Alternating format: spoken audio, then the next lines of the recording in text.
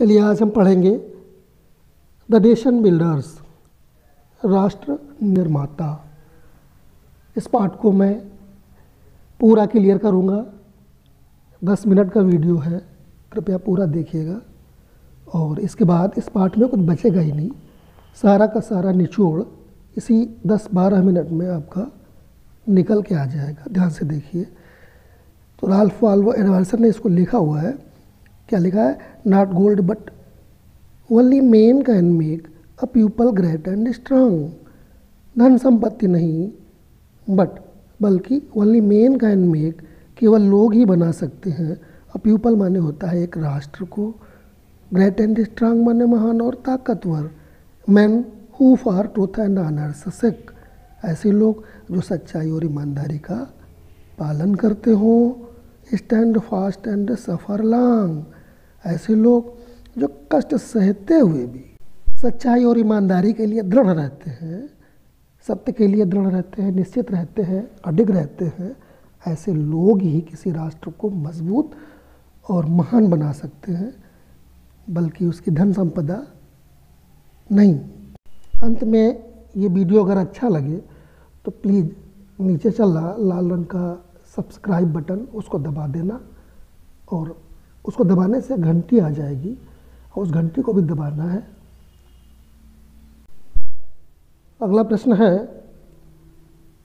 who is the composer of this poem इस कविता का रचयिता कौन है? ध्यान देंगे, परीक्षाओं में पैसेज ऊपर लिख के आता है और उसके नीचे ये प्रश्न दिए होते हैं, उनके उत्तर आपको लिखने होते हैं। तो इसके रचयिता यानी कि कंपोज़र है। आंसर लिखा हमने R W Emerson is the author of this poem आप इसको लिख सकते हैं। R W Emerson is the author of this poem R W Emerson इस कविता के लेखक हैं। यह आथर ना लिखिए, यहाँ पे सीधा सीधा कंपोज़र लिखिए। R W Emerson is the composer of this poem या इसे दूसरी तरीके से भी लिख सकते हो आप। कैसे? आंसर है the above noted lines of poetry have been composed by R W Emerson ऊपर लिखी हुई पंक्तियाँ ऑफ़ पोएट्री माने होता है कविता की हैव बीन कंपोज्ड रचित की गई हैं, यानी कि रचना की गई है। किसके द्वारा? बाई मीन्स द्वारा। R W Emerson R W Emerson ने इनकी रचना करी है। तो ठीक है। वैसे आथर में से लेखक होता है कंपोजर माने रचयिता होता है, रचना करने वाला। तो आप कंपोजर ही का प्रयोग करें आथर में तो लेखक होता है, कविता लिखी नहीं जाती, कविता कविता रची जाती, रचना होती है कविता की। चलिए ठीक है, आगे देखिए। अगला क्वेश्चन हो सकता है, परीक्षाओं में आ सकता है, उसके नीचे लिख करके क्या आ सकता है? Write the title of the poem from who is the above noted stanza has been taken ये तो अक्सर आता है परीक्षाओं में। Write the title of the poem कविता का नाम लिखिए from who is the noted stanza has been taken जिससे ये ऊपर लिखा हुआ पैराग्राफ स्टैंडा लिया गया है. तो कविता का नाम आपको मालूम होना चाहिए। क्या नाम है? The title of the poem is the nation builders the nation builders इस कविता का शीर्षक है। अगला क्वेश्चन है what is the meaning of a people in the second line answer होगा the meaning of the word a people is a nation एक people शब्द का अर्थ है अ नेशन एक राष्ट्र. इसी तरह के प्रश्न पैसेज के नीचे दिए होते हैं और उनके आपको उत्तर लिखने होते हैं।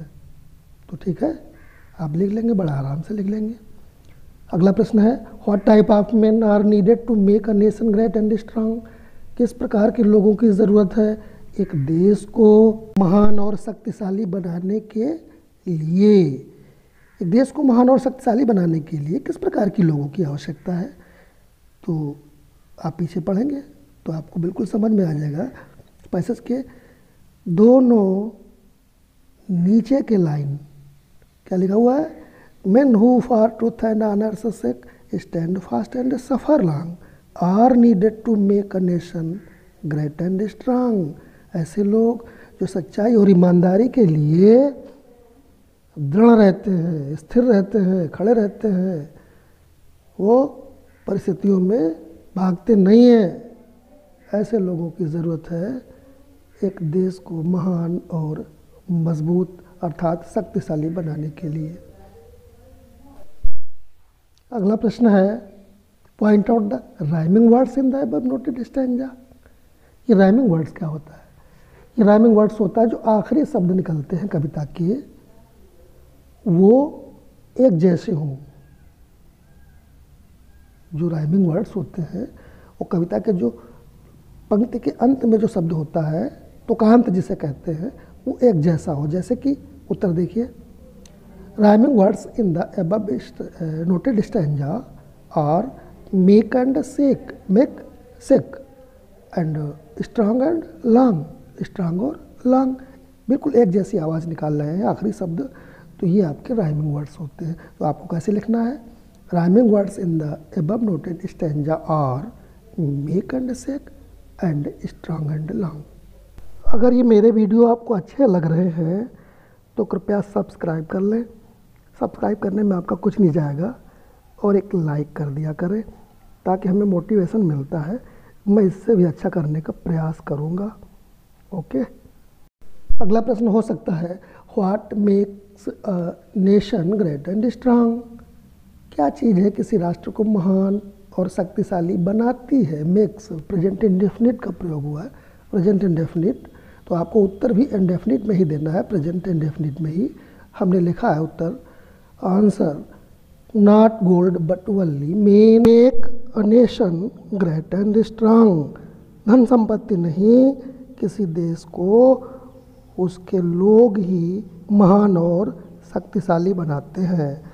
धन संपदा नहीं, बल्कि उसके लोग ही उसे महान बनाते हैं। ठीक है? तो अगला पैसेज नंबर दो, आगे देखते हैं। Second passage Brave men who work while others sleep, who dare while others fly, they build a nation's pillar deep and lift them to the sky. बहादुर लोग जो वर्क करते हैं काम करते हैं वाइल अदर स्लीप जबकि दूसरे लोग सोते रहते हैं who dare while other fly जो किसी भी परिस्थिति का डट के सामना करते हैं जबकि दूसरे लोग भाग जाते हैं वही लोग, आगे लिखा हुआ they build a nations pillar deep अर्थात वही लोग जो साहसी होते हैं वही लोग बिल्ड मीन्स बनाते हैं अ नेशंस पिलर डीप किसी भी राष्ट्र की नींव को मज़बूत and lift them to the sky और उसे आसमान की ऊंचाई तक ऊँचा कर देते हैं, अर्थात उसकी यश पताका को आसमान तक पहुँचा देते हैं। तो चलिए देखते हैं। आगे इसके नीचे क्या प्रश्न हो सकते हैं? उन प्रश्नों को आप देखें। अगला प्रश्न है what are the qualities of brave men given in the stanza इस पैसेज में या इस स्टैंजा में आदमी के किन गुणों का वर्णन किया गया है? तो उत्तर लिखा हुआ है qualities of brave man are their hard work and courage बहादुर व्यक्ति का जो गुण होता है, बहादुर व्यक्ति के जो गुण होते हैं, उनका हार्ड वर्क और साहस साहस और कठिन परिश्रम ही उनका गुण होता है। अगला प्रश्न है, जो संभावित हो सकता है पेपर्स में how can a nation be built strong किसी भी राष्ट्र को कैसे मज़बूत बनाया जा सकता है? How can a nation be built strong किसी देश को कैसे मज़बूत बनाया जा सकता है, शक्तिशाली बनाया जा सकता है?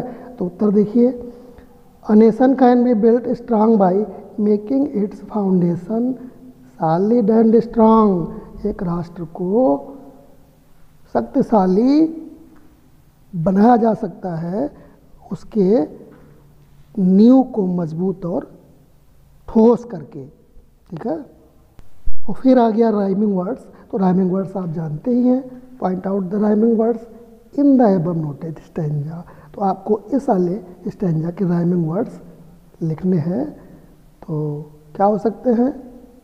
राइमिंग वर्ड्स देखिए. Sleep rhymes with deep and fly rhymes with sky sleep rhymes with deep और फ्लाई राइम्स विद स्काई यानी कि स्लीप डीप फ्लाई स्काई, एक जैसे शब्द निकाल रहे हैं तो ये इसके राइमिंग वर्ड्स हैं। तो मैं आशा करता हूँ कि ये वीडियो आपको अच्छा भी लगा होगा और बहुत ही आपके लिए उपयोगी भी होगा। अगला प्रश्न है who will nations pillar deep राष्ट्र की नींव को कौन मज़बूत बनाता है? तो सभी में तो तुम्हें यही लिखना है कि बहादुर और साहसी लोग, हैं? तो इसके भी उत्तर में आपको यही लिखना है, आप हु को हटा दीजिए। हु वाले प्रश्नों में आप हु को हटा दीजिए। और हु की जगह पर क्या लिखना है? Brave man, build a nations pillar deep बहादुर व्यक्ति किसी राष्ट्र की नींव को मज़बूत बनाते हैं। क्वेश्चन है what do brave man do while other sleep what do brave man do बहादुर लोग क्या करते हैं? जब दूसरे सोते हैं, जब दूसरे सोया करते हैं, उस समय बहादुर लोग क्या करते हैं? तो चलिए इसका उत्तर देखते हैं। आंसर है brave man do the work. बहादुर लोग काम करते हैं, जबकि while other sleep while others sleep जबकि दूसरे सोया करते हैं। तो समझ गए? बहादुर लोग उस समय भी काम करते हैं जब दूसरे लोग सोया करते हैं। यही इसका उत्तर होगा। अगला प्रश्न why do people suffer long लोग लंबे समय तक किस तरह से कष्ट सहते हैं? क्यों कष्ट सहते हैं? वाई मीन्स क्यों? डू पीपल सफ़र लॉन्ग कष्ट क्यों सहते हैं? उत्तर है people suffer long for truth and honour लोग सच्चाई और ईमानदारी के लिए कष्ट सहते हैं। सच्चाई और सम्मान के लिए ऑनर ऑनर मैंने सम्मान। आई होप ये वीडियो आपको अच्छा लगा होगा।